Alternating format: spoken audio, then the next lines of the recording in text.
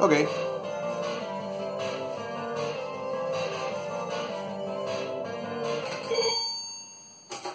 Este sonidito. Dios mío, cómo me gusta ese sonido de las piñas. Vamos a ver qué pasa.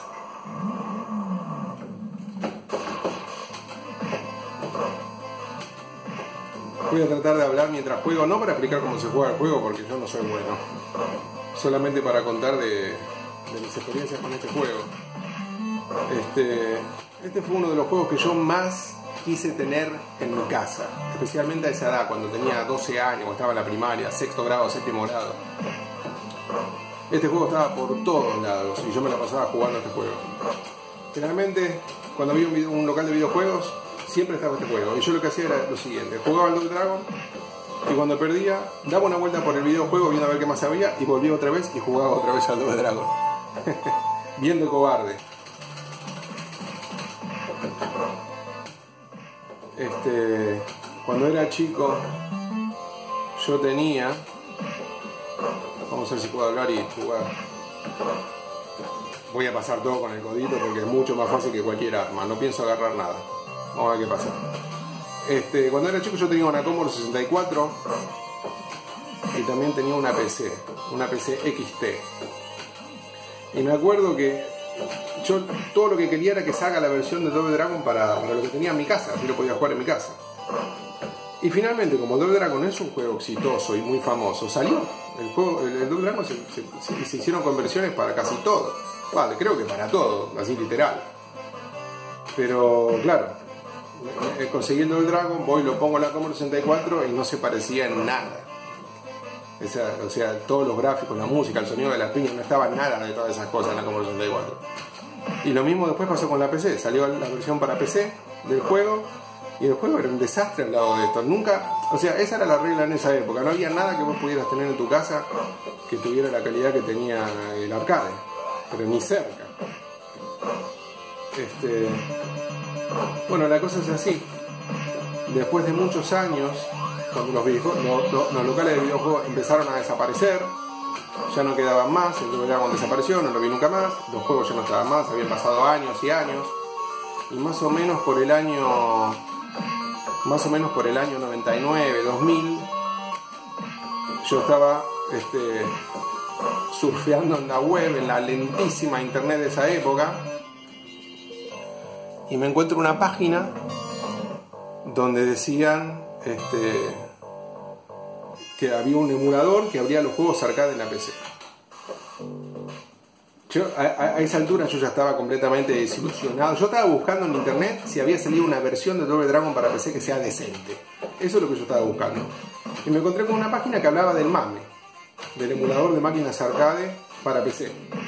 Y me acuerdo perfectamente que yo leía eh, la página, lo que decía, de que habría el juego original, qué sé yo, y no le creía nada. Me la pasaba leyendo y decía, sí, claro, sí, seguro. No le creía nada de lo que decía, no le tenía nada de fe. Pensaba que era todo una engaña pichanga. Este, bueno, y en la página esa estaban las instrucciones. Las instrucciones para bajar el mame, te decía cómo había que instalarlo, dónde había que poner que las ROMs de los juegos se bajaban en otro lado y que había que crear una carpeta que se llame ROMs y poner la imagen de los juegos ahí, qué sé yo. Seguí las instrucciones. ¿Queda otro más? No me acuerdo.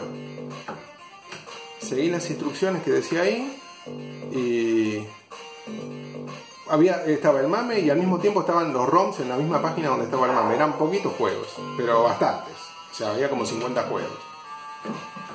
Este, y me acuerdo que bueno, hice caso a las instrucciones, así con muy poca fe de lo que fuera a pasar. Y el primer juego que bajé fue este, el Double Dragon. Este, abrí el mame, abrí el Double Dragon y se abrió. Y se abrió el exacto juego como lo estoy jugando ahora, el exacto juego arcade en la PC. En esa época creo que lo que tenía era un, eh, creo que se llama Windows 95 lo que estaba usando en ese momento. Acuérdense que es algo así como más o menos el año 2000, 99, 2000, no tengo ni idea del año, la verdad que es muy difícil, pero más o menos era por ahí. O sea, cuando bajé el mame por primera vez yo era soltero, no tenía hijos, vivía con mis papás y yo ahora tengo 41, 41 años y un hijo que va al secundario, así que imagínense que no es lo mismo. me acuerdo que se me abrió el Double Dragon en la PC, en una ventanita acá en el medio, en el medio de la pantalla chiquitito, porque por supuesto que en ese momento yo no tenía ni idea cómo configurar nada. O sea, pero me acuerdo que se abrió el Dragon y no lo podía creer, no podía creer que el juego era el, arcade en serio, hasta que te dice inserte ficha. Era, me quedé completamente alucinado mirando la pantalla, mirando el juego jugar solo porque no lo podía creer. Y ahí empecé a bajar los juegos, de a uno. Empecé a bajar los otros juegos que yo jugaba siempre, que hacía mucho que no venía, que a mí me encantaban, como por ejemplo el Outrun, el Kung Fu Master, este, que también al igual que el Double Dragon, fueron juegos que fueron conversionados para lo que yo tenía, para la Commodore 64, para la PC, hasta para la Family Game, que tenía un vecino que tenía la Family Game. Y los juegos no se parecían en nada al arcade. Y ni siquiera estoy hablando de. Ni siquiera estoy hablando de cosas que vos no puedes tener en tu casa, como por ejemplo, no sé, una palanca de vuelo, un volante que tienda, eso ni existía en esa época. Pero en tu casa tenías gráficos y tenías sonido y el gráfico y el sonido de la Commodore, de la PC, de la Family Game no se parecía nada al juego. Hacía, abrían los juegos con el nombre arcade, porque eran conversiones, pero el arcade siempre era mucho mejor. Y esa fue la regla por. pero. de siempre. Simplemente no había manera, yo ya estaba desolucionado, no había manera de que vos pudieras tener un arcade con la calidad de los gráficos y la música que tienen los arcades en esa época. Siempre era todo patético. De la única manera que los juegos eran muy buenos para esas cosas eran cuando los juegos eran hechos para esas consolas directamente, no conversiones. Todo lo que fuera conversiones arcade siempre era pura desilusión. Por eso es que para mí el MAME es el software más increíble existe en el planeta Tierra. La verdad que a mí yo no lo podía creer. Cuando yo bajé el MAME por primera vez yo nunca había escuchado del MAME. Era algo completamente nuevo. El MAME existe creo que desde el año 97. Y yo lo descubrí un par de años después. Creo que un par de años después, por ahí fue antes, pero en realidad es muy difícil para mí saber los años. Lo único que sé que era cerca del año 2099, 2000, 2001, no tengo ni idea. Este, sí, la pantalla se pone oscura y brilla a veces porque la acabo de prender y porque el chasis es viejísimo. Pero, como dice la frase en inglés, if it ain't broken, don't fix.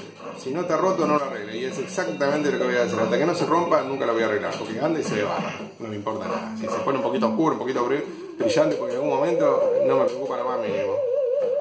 Además tengo, tengo más chasis para cambiar, así que no pasa nada. Pero hasta que no se rompa, hasta que no se rompa y lo tenga que correr la máquina, no la voy a correr, ni loco. No me dan ganas. Además así soy feliz. Más arcade que esto es imposible. ¿Qué clase de arcade anda bien? Si el arcade anda bien es porque no es arcade. Bueno, como, como, verán, no estoy haciendo nada más que el codito. me la paso haciendo codito porque quiero pasarme el juego. Quiero llegar al final del juego, pero el juego siempre me garca. En el último nivel me se la pasa garcando, es terrible. Es un nivel muy injusto el último, con esas columnas que salen.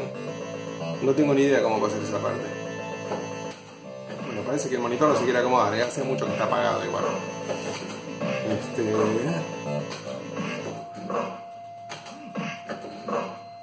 Pero Dios mío, qué lindo que fue cuando abrí esto en la PC, todavía me lo acuerdo. No lo podía creer. Es más, cuando descubrí el mame me la pasaba bajando juegos y mirándolos a los juegos en, en modo de atracción, sin jugar. Eso era algo que a mí me gustaba mucho hacer en los videojuegos, mirar el juego andando solo, sin que nadie juegue cuando el juego te dice inserte ficha, inserte ficha y tiene ahí eh, alguna animación y música y qué sé yo, me encanta. Me la pasaba abriendo juegos y cerrando. Bueno, seguimos.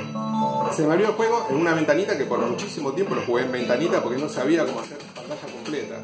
Y lo otro que me pasó es que no sabía cómo se hacía. Eh, ¿Cómo se hacía para poner ficha? No tenía ni idea. La máquina me decía, inserte ficha, inserte ficha. Digo, cara, ¿cuánto tengo que hacer en la PC para poner una ficha? Después te aprender los controles y sabes que es el número 5 de un teclado, poner la ficha así de movida. Pero en ese momento no lo sabía y yo tocaba todas las teclas de teclado y nunca pasaba nada. ¿Qué hacer? No quiero Puede ser que no pierda. Dale, no sea así, joder. No. Oh, bueno, listo, ahí está. Me caí el agua y perdí una vida, ¿ves? Soy el rey de los boludos, no me alcanzan los años para jugar.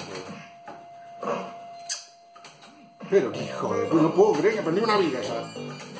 Qué forro que soy, no lo puedo creer. No, me alcanza, no me alcanza la vida para jugar un juego bien.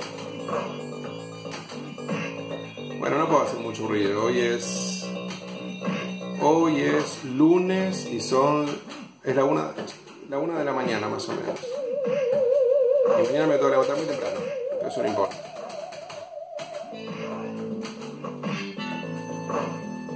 No sé si se notó, pero recién hice fuerza con la máquina y la levanté. se me levantó la, gabinete entero. Dale. Oh Dios. ¿Por qué soy tan mal? ¿Por qué? ¿Por qué? ¿Por qué? ¿Por qué?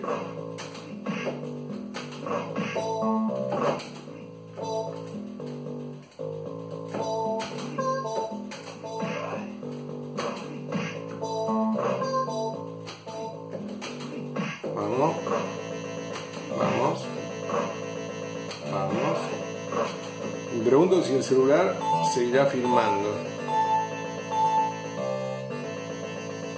Dice que sí. 11 minutos. Vamos. Eh... Obvio. Tuve... Oh, por Dios, mal que tuve. ¿Qué hice recién? ¿Por qué saqué todo junto? Me van a hacer mierda.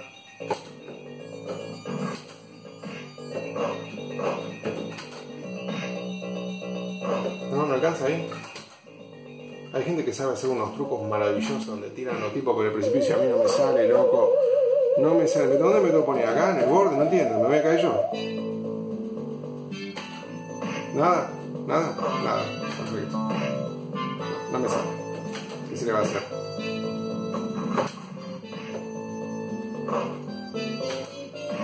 Nótese como cuando aparecen muchos personajes la máquina se ralenta. Eso lo hace el arcade.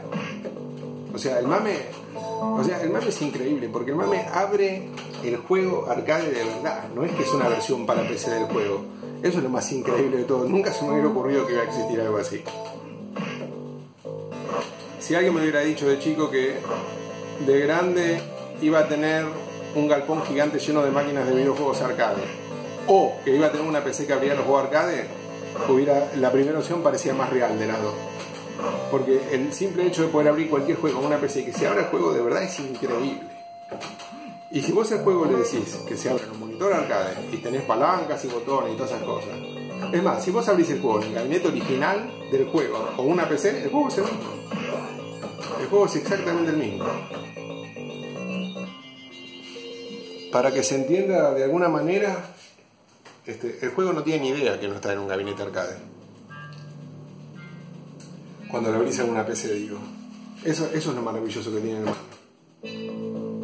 Bueno, este no se va a morir más. A ver, uno, dos, tres, cuatro, cinco, seis, siete, ocho, nueve, diez, dale, once, doce. Hijo de puta, doce veces tengo que pegar. Acá está la escalerita. No sé si esto funciona, me parece que sí. Chao. Uy, ¿por qué? Ah, sube. ¿Qué estoy haciendo? ¿Por qué subió? Se supone que suba.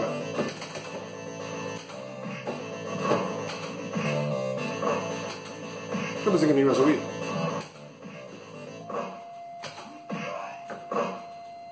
Qué buena música que tiene este juego. Buenísimo, me encanta. Además me hace acordar Fascination Street de The Cure. Dale, dale, dale. Cuando la máquina se ralenta y vos querés moverte con el personaje, la máquina piensa que vos hiciste dos golpes para adelante y da un cabezazo. Eso me pone loco. Y es solamente porque está todo lento. Entonces, dos movimientos lentos de joystick es como si fuera la combinación de, del golpe. en realidad no lo estoy haciendo a propósito. Eso suele cargarme bastante también. Más personajes aparecen, más se frena el juego.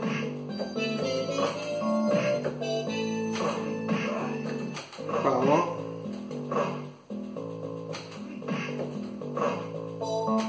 Dale, aprender a jugar? ¿Cuándo voy a aprender a jugar?